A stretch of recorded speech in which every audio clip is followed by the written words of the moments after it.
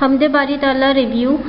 इस हमने हमने ये पढ़ा कि हर बंदा सिर्फ़ ये कह रहा है कि अल्लाह ताला ही सबसे बड़ा है और फूलों की भी यही आवाज़ है कि चाँद, सूरज को देखो और दरख्तों और पत्थरों को देखो कि सिर्फ़ और सिर्फ़ वही लायक सना है, उसी की इबादत करनी चाहिए कि वो हमारा खुदा है और उसकी इबादत करनी चाहिए। हर चीज़ सिर्फ़ उसी के हुक्म की मोहताज है। कुरान शरीफ में भी ये बयान किया गया है शायरी शेर में इस हमें अल्लाह ताला की तारीफ़ बयान करते हुए कहता है कि तू बड़ा रहीम और करीम है